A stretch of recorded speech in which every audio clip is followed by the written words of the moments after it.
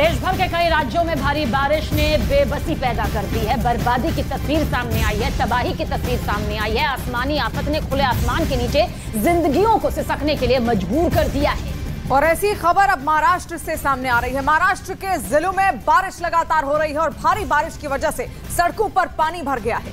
जिसमें गाड़ियाँ रेंगती हुई भी नज़र आई। वो तस्वीरें इस वक्त आपके सामने। पाँच तस्वीरें जो ये बताने के लिए काफ़ी है कि किस तरह से मुंबई का सायन हो या फिर किंग सर्कल हो, हर तरफ़ सिर्फ़ और सिर्फ़ पानी का कहर नज़र आ रहा है। और सड़कें पूरी तरह पानी में लबालब डूबी हुई नज़र आ रही हैं। वहीं पालघर में तो नाला सुपारा को जोड़ने वाली सड़क पर लबालब पानी भरने से उसे बंद करना पड़ा है। नवी मुंबई की तस्वीर भी आपके सामने। देखिए, हालात कुछ अलग नहीं है यहाँ पर। यहाँ भी आसमानी आफत कहर बनकर बरस रही है। और महाराष्ट्र के कोल्हापुर में भी हर तरफ़ पानी ही पानी दिखाई दिया। और पाँच तस्वीरों के ज़रिए महाराष्ट्र में किस तरीके से आसमानी आफत उफन पड़ी है, वो आप देख सकते हैं। कोल्हापुर, सायन, नवी मुंबई, किंग सर्किल और पालघर की तस्वीरें हम आपको दिखा रहे हैं।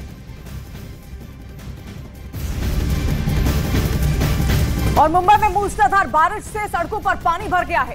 जिसमें कई गाड़ियाँ फंस चुकी हैं, रेंग रही है, क्योंकि उनके पास इसके अलावा और कोई चारा नज़र नहीं आ रहा। इसी के साथ मुंबई के आसपास के इलाकों में भी जोरदार बारिश हो रही है, जिससे सड़कों पर कई फीट तक पानी भर गया। मौसम विभाग की माने तो अगले कुछ दिनों तक महाराष्ट्र में भारी बारिश का अलर्ट जारी किया गया है यानी कि मुश्किलें अभी जरा सी भी कम होती नज़र नहीं आती। और रायगढ़ पालघर पुणे और सतारा जिलों के लिए रेड अलर्ट फ़िलहाल जारी कर दिया गया है। कोंकण समेत मध्य महाराष्ट्र में भी भारी बारिश का अनुमान है। और इसके साथ ही मुंबई के साथ ठाणे में भी भारी बारिश की चेतावनी जारी की गई है यानी कि अभी और भी ज़्यादा तस्वीरें ऐसी सामने आएगी जहाँ पर लंबा ट्रैफ़िक जाम और सड़कें पानी में लबालब नज़र आएँगी।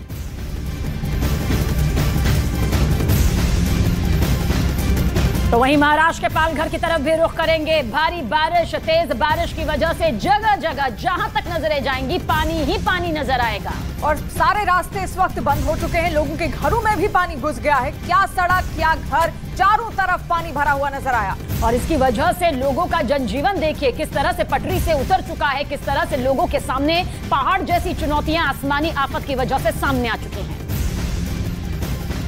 सन सिटी इलाके में मैं इस वक्त मौजूद हूँ, जहाँ पर अब भी करीब घुटनों तक पानी भरा हुआ है और इस पानी के भरे होने के चलते पूरा का पूरा रास्ता अभी भी बंद पड़ा हुआ है।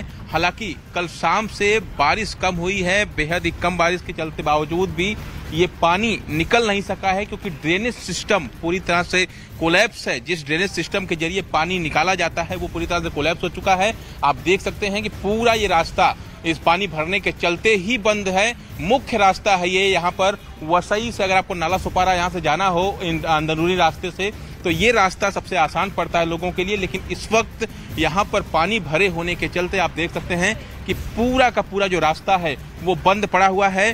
हालाँकि सबसे अहम बात यही है कि इस मुख्य रास्ते पर इस तरह से पानी लगना, ये भी एक कई सारे सवाल हैं।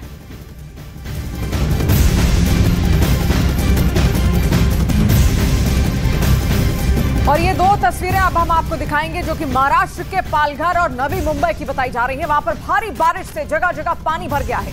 जो लोगों के लिए मुसीबत का सबब भी बन चुका है, क्योंकि मूसलाधार बारिश की वजह से आप खुद ही देख लीजिए, सड़कों पर गाड़ियों की लंबी कतार है। जहाँ गाड़ियाँ चल रही हैं, वो रेंगती नज़र आ रही है। ये सड़क है, क्योंकि इसके ऊपर वो पानी आ गया है जो भारी बारिश के देन है। तो तमाम क्षेत्र आप देख सकते हैं, कई ज़िले महाराष्ट्र में ऐसे हैं जहाँ पर अलर्ट जारी करना पड़ा है और ऐसे में पालघर का वो इलाका जहाँ पर सबसे ज़्यादा मूसलाधार बारिश इस वक्त महाराष्ट्र में हो रही है।